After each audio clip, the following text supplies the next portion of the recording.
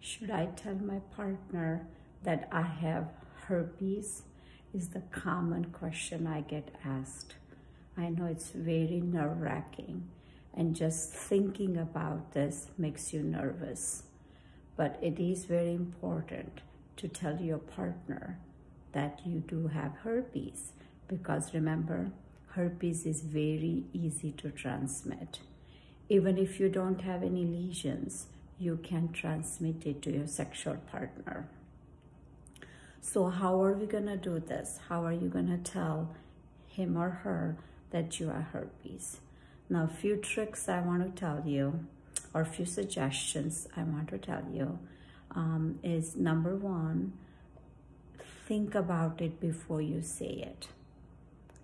I would practice it a few times in my mind of exactly what you're gonna say uh, so that when you actually talk about it or bring this the, the subject, you are not gonna be nervous.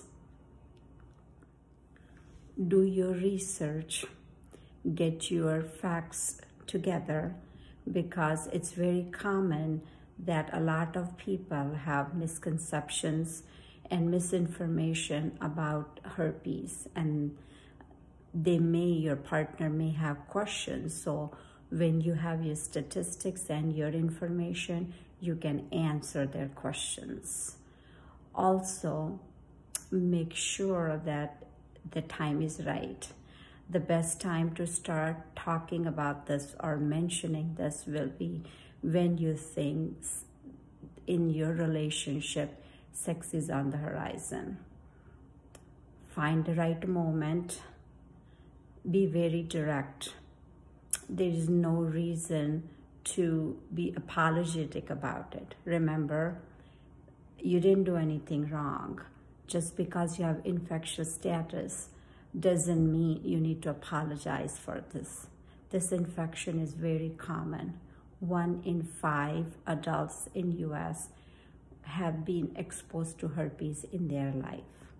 Tell the statistics, mention this don't apologize. Be very direct. And um, just because you have confessed this doesn't mean it's going to backfire on you. You have been honest, you have been open, and you have um, mentioned this to protect them. Um, makes you a very strong and compassionate and a caring person.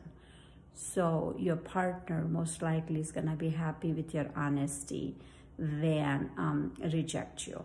So I wouldn't worry about the uh, fear of rejection. I would um, concentrate on the, the openness and an honesty.